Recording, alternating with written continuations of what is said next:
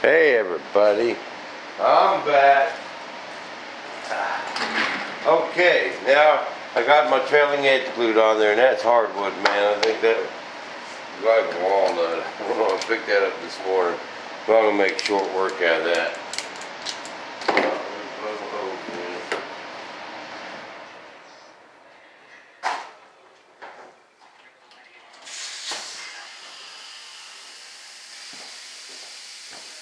I'm gonna hit it real this real quick, knock it down, and finish it up with the belt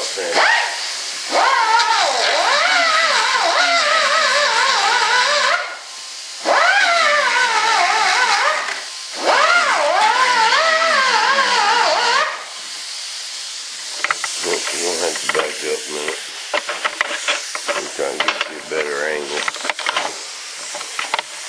Where we can all get in there.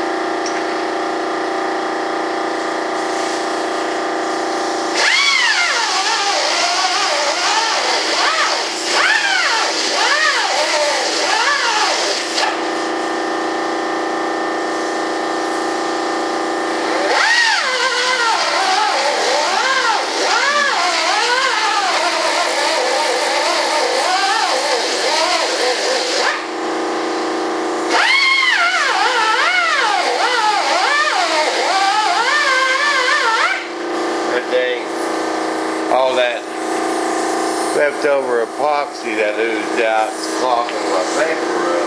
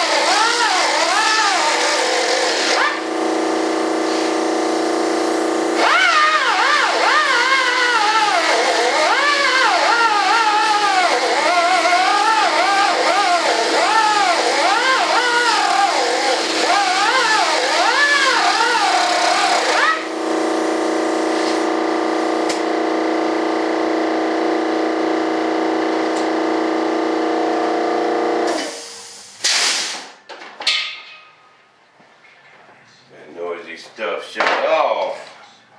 How we doing on time, people? Y'all need to keep an eye on that for me. Alright.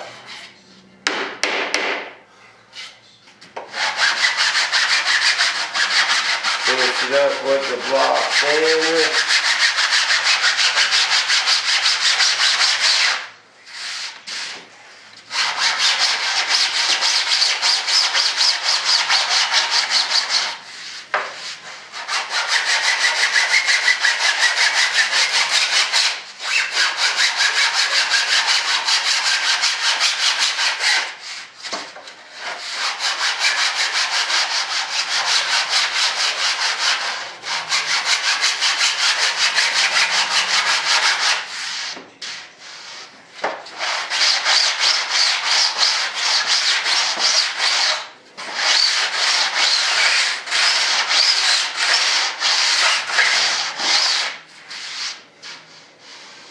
A little bit more right there.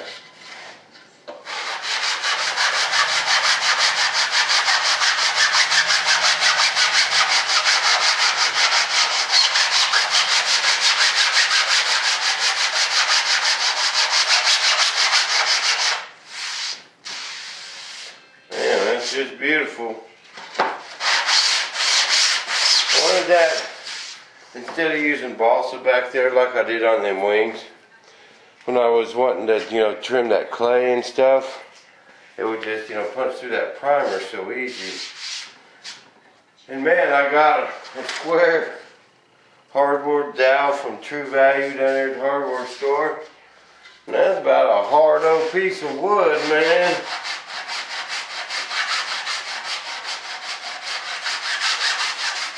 Been oak or walnut or something. It's only dollar fifty, but Man, was that thing hard.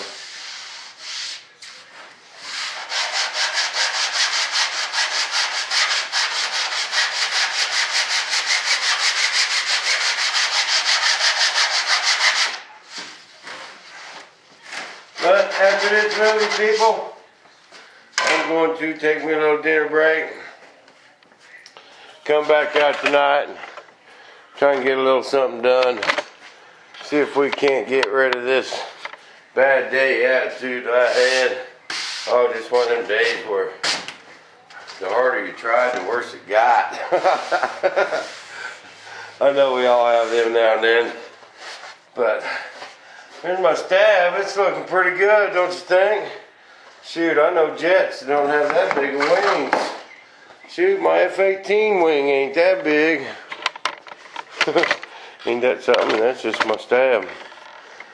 But, uh, it's looking good. And uh, we're going to get this sanded. I'm going to figure this out. This broke off a while back, but this actually went on there like so. That was when I was using them fatter deals. Now this one I got to trim that down. So I want my mold to come out with that round deal in it so I know where to put this tube. Uh, we'll work on that tonight. See you guys after dinner.